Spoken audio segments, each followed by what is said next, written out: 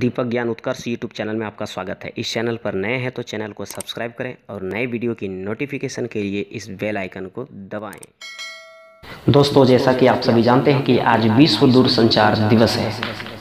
विश्व दूरसंचार दिवस प्रत्येक वर्ष 17 मई को पूरे विश्व में हर्षोल्लास के साथ मनाया जाता है। इसकी शुरुआत 17 मई अठारह सौ पैंसठ में हुई थी।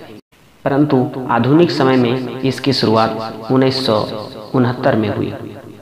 इस आधुनिक युग में फ़ोन, मोबाइल व इंटरनेट जैसी सुविधा लोगों की प्रथम हिस्सा बन चुकी है।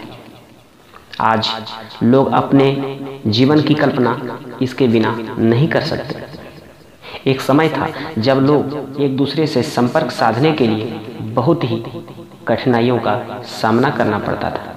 परंतु आज मोबाइल वॉलेट जैसी सुविधा लोगों को बहुत आसान बना दिया है। आजकल लोग कुछ ही पल में अपने दोस्तों, रिश्तेदारों व परिवारों से संपर्क साध सकते हैं। ये सब केवल और केवल दूरसंचार की क्रांति से ही संभव हो पाया है। तो हम फिर मिलते हैं नेक्स्ट वीडियो में। तब तक के लिए जय हिंद, जय भारत, वंदे मातरम।